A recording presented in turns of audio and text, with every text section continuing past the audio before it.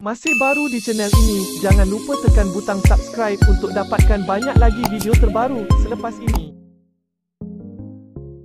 Di Facebook, Ahli Parlimen Kuantan PAS, Wan Razali Wan Nor, membuat permohonan maaf secara terbuka susulan kenyataannya yang didakwa mengkritik pembabitan penyanyi Baby Shima yang memeriahkan program Hari Bandaraya Mesra Komuniti di Sungai Isap Damai Kuantan pada 18 Februari lalu.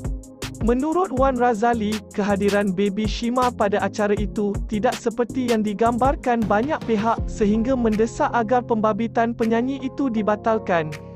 Pada 18 Februari Baby Shima hadir dalam program terbabit dan membuat persembahan menyanyikan beberapa lagu serta berselawat dengan penampilan sopan dan menutup aurat.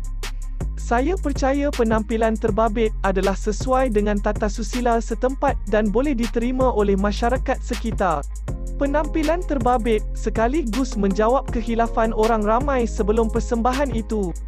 Dengan ini saya memohon maaf di atas kehilafan terbabit dan menarik balik kenyataan pada hantaran saya yang disiarkan pada 17 Februari lalu.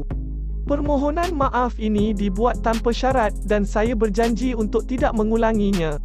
Sementara itu, Baby Shima menerusi satu posting terbaru di Instagram meluahkan rasa syukur apabila segala kebenaran berpihak kepadanya. Alhamdulillah, kebenaran akhirnya berpihak pada Shima. Moga menjadi peringatan kepada semua untuk lebih berhati-hati apabila berkata-kata. Kalau anda suka video di channel ini, boleh juga tekan butang like dan share di media sosial yang lain. Terima kasih kerana setia di sini.